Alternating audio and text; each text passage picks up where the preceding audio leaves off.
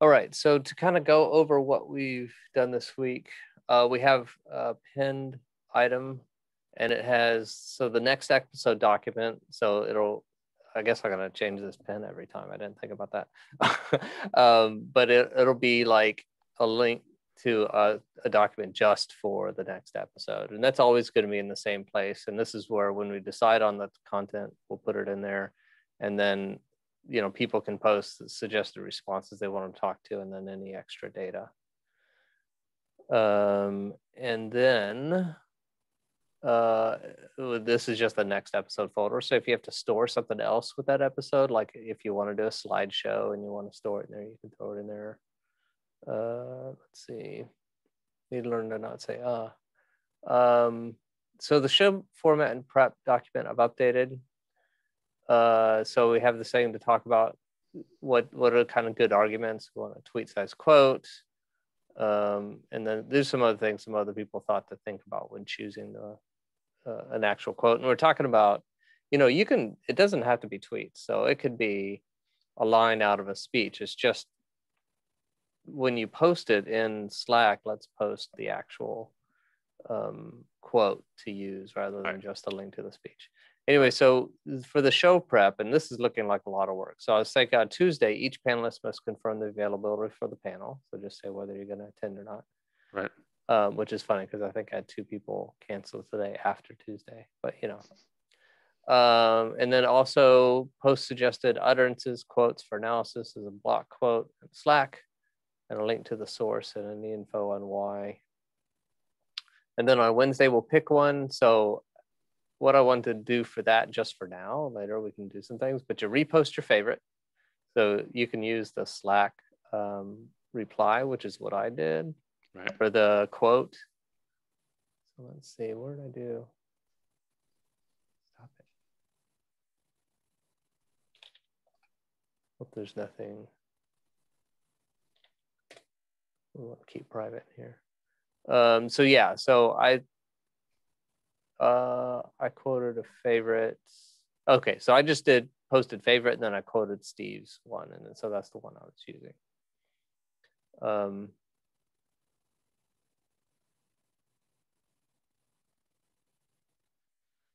uh, and then so and then you check it.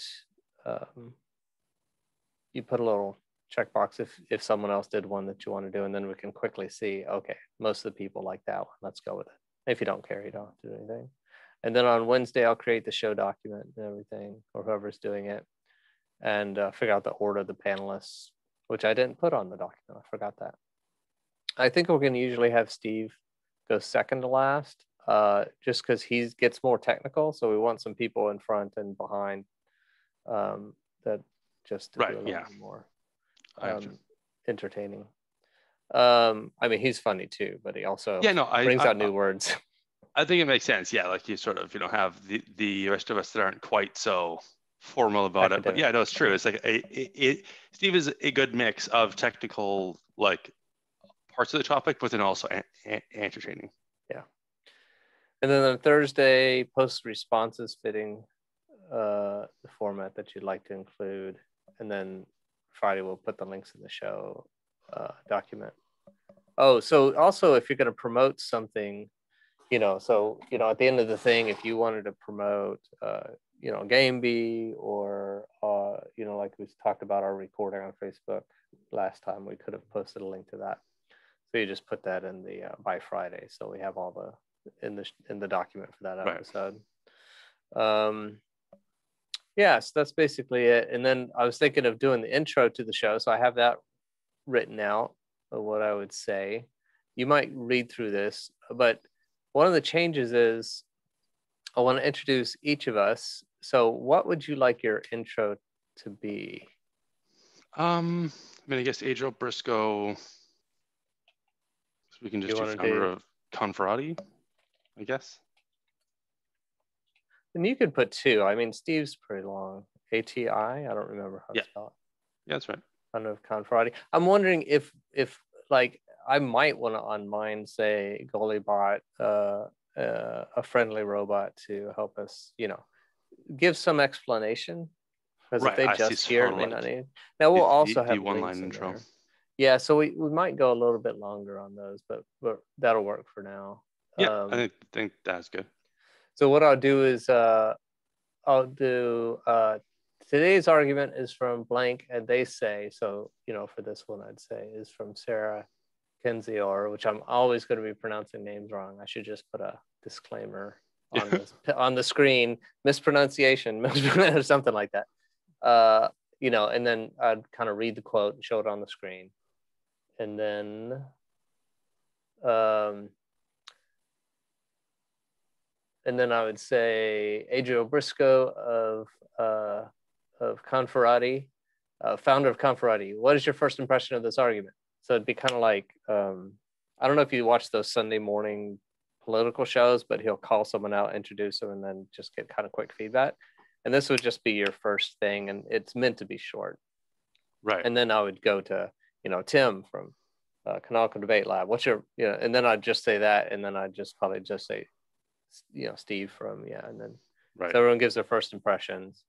I see. And And then that would just be like the first time you're really introducing that person for the episode, where you'd be like, Steve, associate professor of rhetoric at, at St. John's University. What do you think of blah, blah, blah? And then after that, every time it would just be Steve. yeah, yeah. Okay. Yeah. And I then also for the first sense. person, I'll, I'll say, "What's your impression of this argument?" or something like that. And the second Right. one, I'm just gonna say, I might say, "What's your impression?" And the third person, I'm just gonna say their name and title, and Right. because people don't need the repeating. Right. Um. Yeah, and then then we'll kind of go around, and so I'll say, you know, um, Adriel, analyze this argument for us, you know, and then you would go and then say, Tim, what's your analysis? And then I'd just say, and you know, and Steve, and then Right. Steve I say- see. So like the first person, you ask them a more sort of like full question. The next person, you sort of ask them a fragment, and then the third person after, you're just like, Yeah. ditto. Same question. Yeah, and I think when it comes to your turn, you know, you could you could say, oh, and you know, building on what Steve said, or I disagree with what Steve said, or something like that. And after this one, you know, I think if anyone has any comments and stuff, you could just jump in after the last person.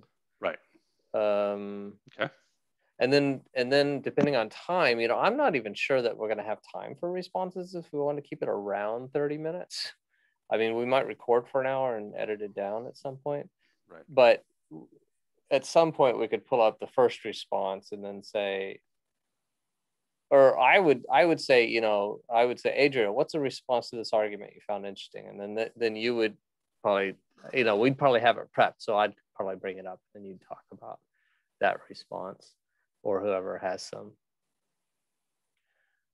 Uh, and then I was thinking we'd have one round rephrasing the main argument. If we, I don't know if we really need this or if it's al- al- already would have been said earlier, but how would you, you know, how would you make this a winning argument? And that's if we keep the title winning arguments. Well, I don't know. If even if it's argument autopsy, it still might be a good way to phrase it.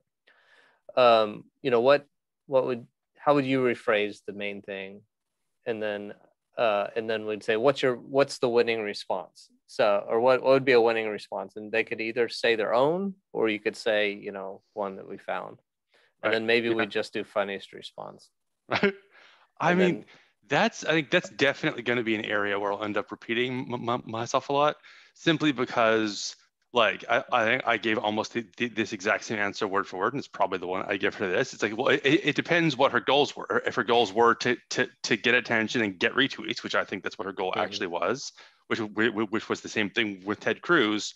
Well, then she got that right because we're talking about Yeah. it. She got she got retweets, she got she got likes, Now- she got yeah. attention and it probably makes sense in the overall you know theme of her rhetoric or argument so odds are she probably shouldn't change anything Yeah, and we might talk talk, talk about why what winning responses are, because I think also what we want to do is we want to teach proper rhetoric. So these people are not taking into account the negative implications of them shooting for likes and stuff like that. Right. So when I kind of say winning argument is forget their goals. What should have their goals been, or and then how would they achieve it? Because I see. we we know their goals are wrong.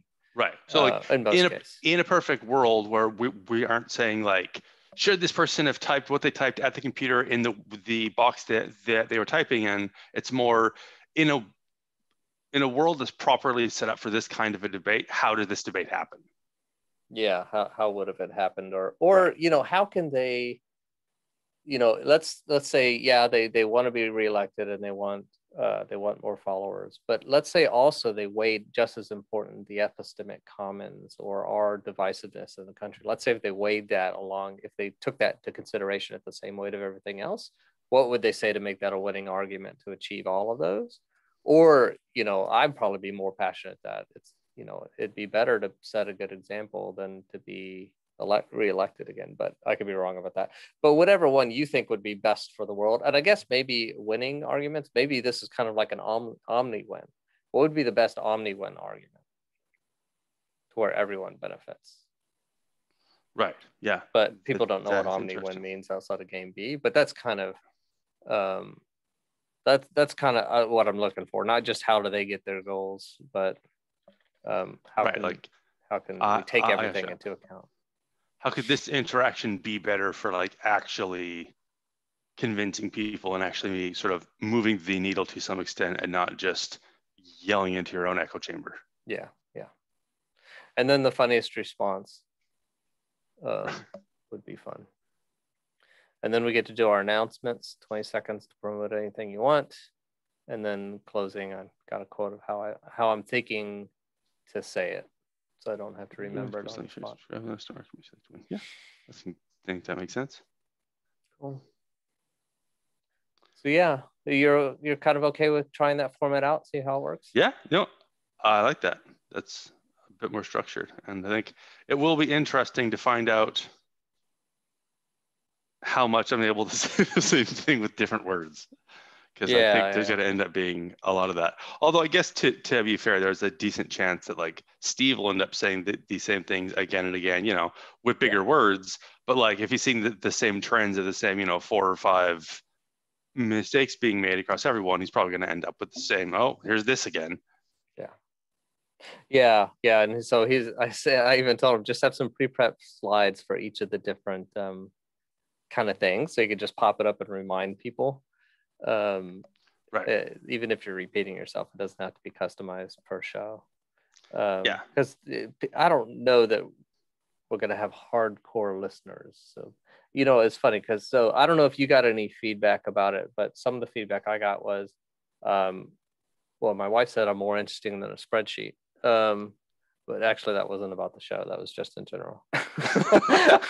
but she did say she would watch it through obligation so it's okay, not that bad, right? Um, she probably wouldn't do it uh, if I wasn't on the show, though. So, right. Um, other people said they liked that we're not focusing on the topic, but on the meta conversation of how they're talking about the topic and how to. Right. So they that did hit home, and a lot of people said they'd never seen anyone else do that. Um, so that's encouraging but both is and, and is it? It is it, it, encouraging yeah. for us. It's very disheartening for the media industry to be like, wow, people who are impartial, holy shit. yeah. That's not right. supposed to be, you know. Or trying to be impartial. Or yeah, restating yeah, exactly. our biases. Yeah, it's it'll be yeah. So I think that is I think that is interesting enough. Uh, and then several other people said they liked it. I still don't know whether they'd really watch it or not. Um, so the feedback's not like this is obvious thing to do. Um, and it's taken a little bit more time than i wanted but i still think it's worth trying a couple more times um, and seeing if we can and what i might even do is the next one where we kind of get together and do it. I might really go through and make a polished version like spend several days editing it. Right like actually see once we i would personally recommend until we get at least like two try like you know try mm-hmm. your your template once say like okay is that good? Did it seem you know are there any final tweaks? If there's any major tweaks then then even still wait more. But if they're like you know what? Just that one question i'm going to change the wording and it's just small tweaks then the next one i'd say it's probably good to chop that one up and yeah. try to make it as polished and do a highly polished version see if we get slightly better results from that. But then we have to decide are we can continue that polished level? Um, i'm almost thinking that we put up a Patreon, and if you want the highly edited one, you join the Patreon. Yeah, that might. I kind of wonder if that would end up being an interesting, like Patreon perk, where it's like, hey, right. you know, with no patrons, we're gonna put out one polished, uh, you know, we're gonna do we, we, we, weekly episodes, but like maybe the polished thing goes on the Patreon channel. We're like, if you want more of these polished ones, that yeah. people will, will, will, will, will need to sign up for. Which is funny because it's usually the opposite. The Patreon gets the behind the scenes and the highlight polish goes out to everyone. But it could also be some of the Patreons also have like goal levels. So if we get X dollars a month in Patreon thing, then we will hire an editor or hire right. a video editor. So yeah, so that'll that'll be one of the interesting ideas. So so yeah, so I think we'll probably do two more and then you know have another decision point to say um, if you know who wants to continue with it um, and how much more time I want to put into it or change the format. I mean, yeah, if we try out this format and it just sucks, then we may have to go back to the drawing board. But yeah, I think it has a good chance. Cool. Yeah, I think it's an, interesting mix. I think it'll be up to you know if we can keep the conversation interesting enough. Yeah. Because I do think yeah, there's a a dire lack of like actual um I just I just said the word not impersonal. Uh yeah uh, unbiased. Unbiased sort of. there we go. Yeah. It's like or at least yeah people looking at how they communicate rather than uh, right true yeah. Like i guess non-biased rather than unbiased because we're like acknowledging yeah. our biases and not like hi- hi- hiding them and, and, and, sneaking them in through the back door like most media. We're like hey i think x but if we ignore that then yeah. the conversation means this. Yeah. And they can decide whether we were able to cancel out our bias or not. Right. And even then as long as we're being honest about it then it's like oh, okay well if that person you know really doesn't like that person and believes this truly then maybe i'll take their you know yeah just hitting with a grain of salt because I'm able to because they were being clear that oh I'm very biased on this. Yeah, I didn't get any feedback from my Republican friend when I said that I said I thought lying Ted on that first one, but then I came back and said realized he was actually technically accurate. so I don't know if that redeemed me for saying lying Ted or not. I don't know. Well, and it's really weird because like saying somebody is a re- re- re- Republican now, you're like, okay, but, but are they a Trump Republican or a yeah. non-Trump Republican? This one actually was a Trump and a very yeah, so big he, fan of. He, uh, he probably and, thought it was great that you said lying Ted then. well, no, uh, well, so he's he's he he's pro Trump and pro Ted Cruz, so he's not. Okay. He, he didn't take the anti. Still interesting. Because uh, a lot of the pro Trumpers in my opinion, still like the regular Republicans. They just like how Trump put them in their place. right. Okay. it's like it's like knowing a prize fighter. You like them all, but when they get a good punch in, hey. Right. Like um, which the Democrats are very good at doing. Uh, yeah. So uh, yeah, I'm gonna go ahead and stop the recording.